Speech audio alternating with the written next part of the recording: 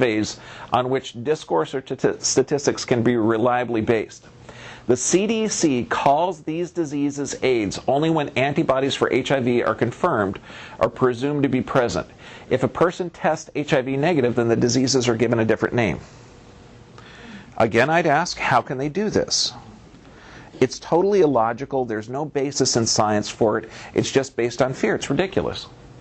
Now, here, let's look at the, one of the two diseases that's supposed to be, along with lifestyle factors, because you got to keep saying that.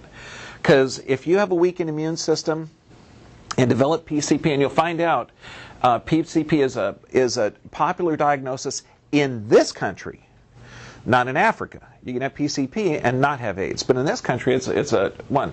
Now, what happens? The poppers, the the the recreational drug, it uh, puts nitrates and oxidizes the blood, so the blood can't carry oxygen. So this is this is what happens. A lot of of drugs limit oxygen to the brain, and that gives you that high and that rush feeling. This limits oxygen to a number of different parts of the body. Limiting oxygen causes the cells to die. So now you have dead cells in your system dead cells in the system, uh, the first cells to suffer are the lungs. So this causes fungal infections to grow, and that's what this is. Um, now, it also happens in extreme malnutrition, such as in Africa. That's why PCP in America diagnosis is good for AIDS. PCP in Africa isn't, because malnu- malnutrition will, will cause it. Now, here, uh, in the Middle Ages, now, when you're back riding with Genghis Khan and you want to kind of wipe out a whole community, you're going to ride by the wells and drop a dead carcass inside of a well. Now, what this does, this poisons the well. What it does is it causes nitrate, nitrite bacteria to, re- to reproduce. So when the people drink the water in this well, they develop fungal infections and it's toxic to the system.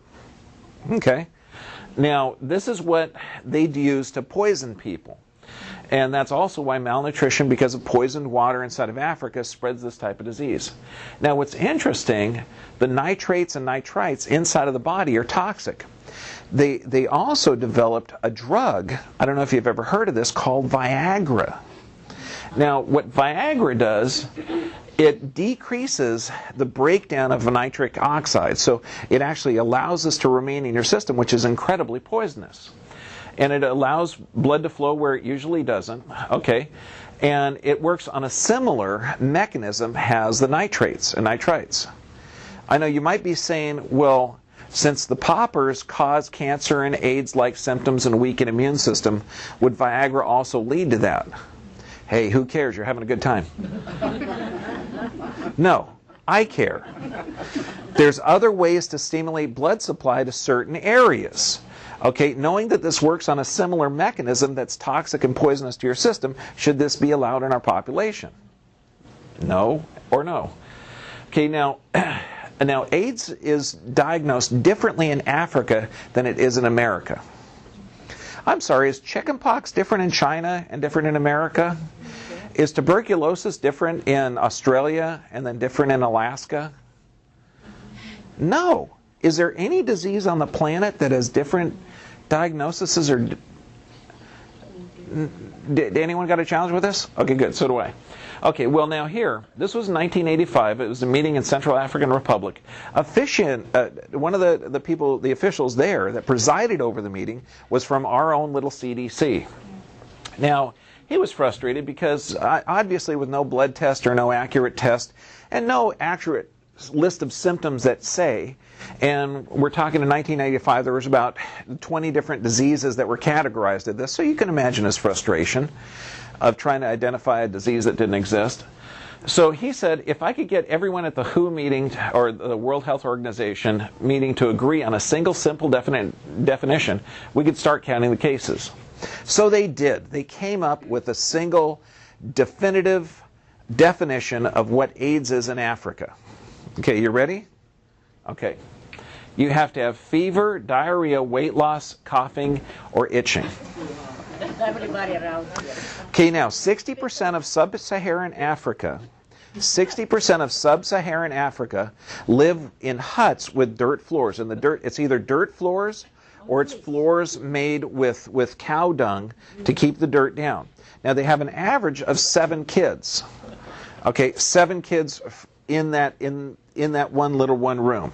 Okay, so we're talking an absolute horrible aspect of no, unsafe drinking water, inadequate food, basic sanitation is gone, and this is just horrible. Do you, do you think a lot of people there are going to have itching, coughing, diarrhea, or weight loss?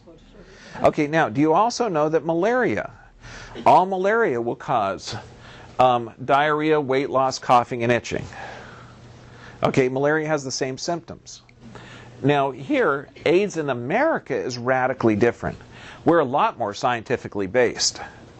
Do you see the Pinocchio nose growing right now? Okay. Yeah, yeah, okay, now. It, now, these are diseases that can cause a positive HIV test. Okay? Now, you might find out that some of these aren't diseases. Yeast infection can cause a positive HIV test. Hepatitis, pneumonia, tuberculosis, uh, leprosy, malaria, uh, previous vaccinations, oh, I'm sorry, previous vaccinations can cause a positive HIV test. Uh, blood transfusions, arthritis. Arthritis can cause a positive HIV test. Is that from the inflammatory response and the abnormal cell growth inside of the body? Yes or yes? Okay. Um, drug use, yeast infections, pregnancy. Ooh, that's dangerous. Try and avoid that. No.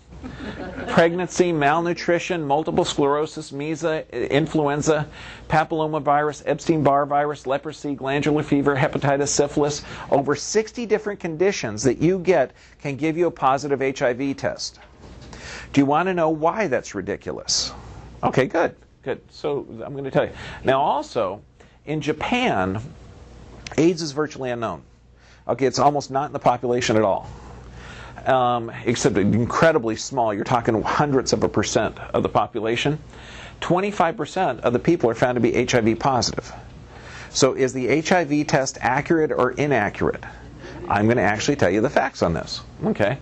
Now, the fact is, in 1997, there were 29 different diseases that, that you got, along with lifestyle factors, put you in the category of having AIDS. Now, it's 48 diseases.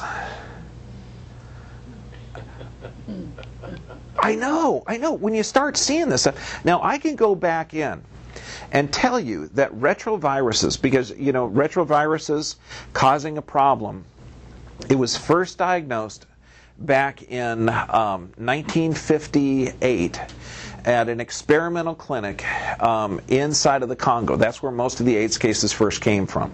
And I can say that it was because the infections, or it was an experimental polio virus that was grown in infected monkey tissue and it was distributed around the Congo out of a French chemical warfare plant. And this is what developed this experimental vaccine. In Paris, in Paris, what they came up with is that it was between 50,000 and 500,000 doses of this experimental vaccine were injected in the Congo, and this is where a lot of the AIDS cases started.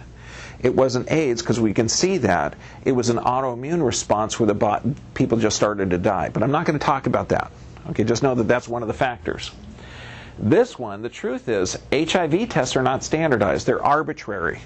The HIV test is not required for AIDS.